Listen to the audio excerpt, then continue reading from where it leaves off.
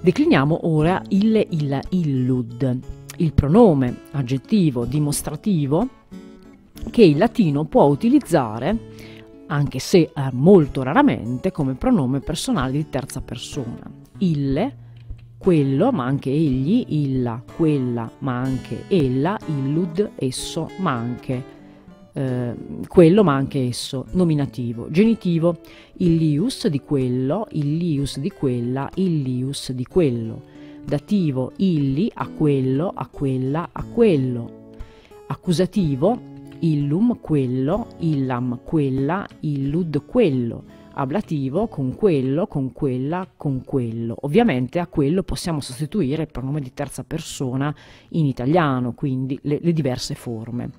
La stessa cosa vale per il plurale, nominativo illi, quelli, ma anche essi, illi, quelle, illa, quelle cose.